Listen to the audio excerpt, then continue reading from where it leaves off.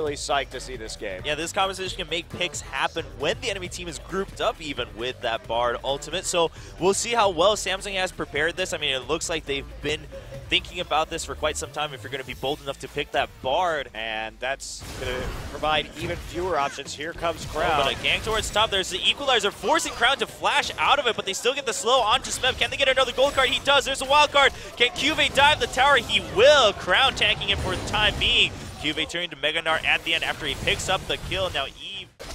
Yeah, they do have that one extra tower to help equalize for that. Oh, there's a Barlow not going to hit. Magical Journey over the wall, but a double knockup onto PraY and Gorilla. A gold card coming in, and that should be a kill onto Gorilla. He's going to get it. The spell shield at the end to avoid the death sentence into tower range in League of Legends. And right now, only two members here to defend this bottom turret. Eve is on his way as four members show up from the KOO Tigers. But there's a Destiny forcing the Tigers to back out, but it's actually going to be a gank in the top. The Wildcard's not hitting on Smeb, but Cuvee is in Mega Gnar form as he tanks the tower in the beginning. He's going to turn to Mini Gnar as he backs out from tower aggro. Be walking towards now uh, as he spawns. He does have teleport, but no need as he's coming just from base. Mega Gnar pretty ready, but there's a magical journey and a stun onto Smeb. They're going to catch him out before he can do anything. Knock up, and he's down. The Rumble goes down. Dragon started by Crown.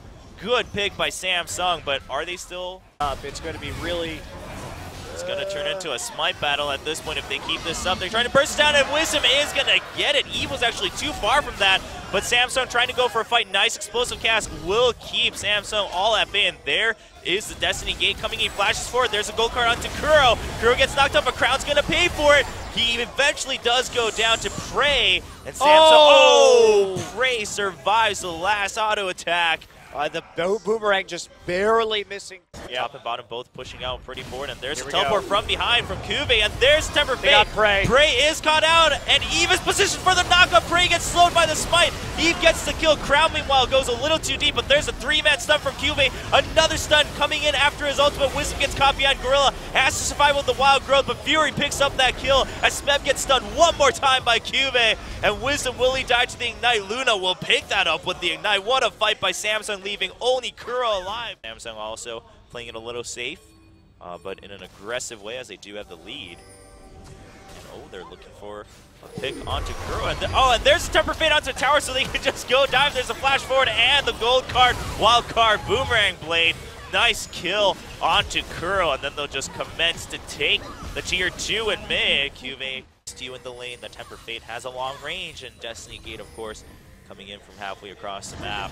There's another Destiny. Is he going to come in with the Zhonya's? Can he get the gold stun? He's not going to. He's just going to have to Zhonya's right on the traps, and there is a good equalizer to disengage. PraY does get a kill. He is excited, but he has to run out. He's taking a lot of damage from the Boomerang Blade and Wild Cards coming in.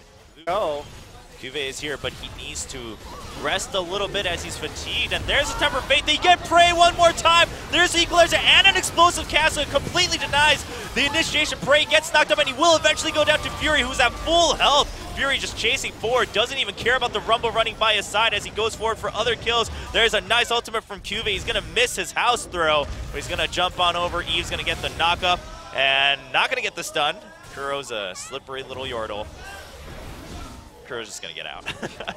yeah, I can't chase that one down, but it will be. to turn into Mega Gnar if he needs to. Nice smite by Wisdom trying to buy themselves some time. And there is a nice equalizer explosive cast against the wall. But there's a Tempered Fate. It's on to two members. But Cuvee was also locked up in that stasis. A knock up onto PraY. Fury's actually a little bit low on health. He has to back out. And Crown almost dies. And there's the body slam and double kill for Wisdom as he flanks the damage dealers. But on the other side, how many members of Samsung can stay alive as Wisdom body slams outside of his own base just to make sure his teammates can survive and clean up the base with the minions, and he's going to be able to lantern back out. Pharaoh chasing after Eve. He's going to heal back out as he goes under to regen.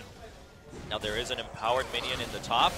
So Smeb going forward, and Cuvee tries to knock two people backwards, and they get the knock about to PraY. He just gets deleted by Fury.